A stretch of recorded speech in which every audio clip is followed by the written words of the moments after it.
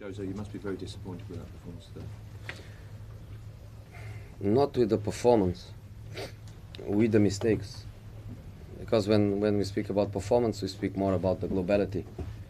And the globality, if we could delete the defensive mistakes, the globality was good. But defensive mistakes are very important. Uh, when my teams they have um, they have perfection in their defensive performances, you say that is not important. But uh, the reality is that is important. We made uh, an incredible defensive mistake. I have to say incredible with capitals. An incredible defensive mistake with capitals in the first in the first minute, and then the game is the game is different. The game is different. Then the globality of the performance is um, good control, good football, good positions, dangerous positions, chances, half chances. But I told the players at half time we have to chase we have to chase the result in a situation where Chelsea is very comfortable. Uh, we put ourselves in a situation where we gave them the game they want. They want the block to be compact and low, like it was in the second half, and wait for that chance in in counterattack. We could score the 2-1, they scored the 3-0. We could score the 3-1, they scored the 4-0.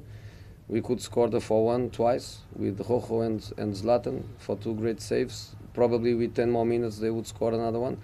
So the global performance, in my opinion, has to be analyzed together with with the defensive mistakes, and we were punished by these defensive mistakes. You've lost against City and Chelsea and drawn well with Liverpool, among the big teams. What, what do you think that says about what we now call the project at this early stage? You know, the project is that um, we are six points from the top of the league. We are not. we are not 16 points. We are six. We are. Um, I don't know, but maybe three, maximum four, from the top four. Uh, we are not 30 or 40. So we are there. We are there, and we are there with a very, with a very difficult uh, fixtures in a week where uh, we play away against two, two top candidates, and we are there. Um, I'm not saying that the matches that are coming are easy ones. Far from it. I'm not saying that.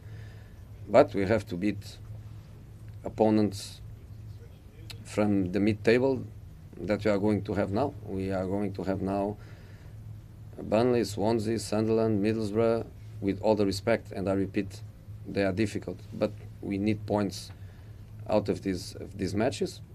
The top the top teams they have to play against each other, so they have to lose points. So in the end, we will be we will be around.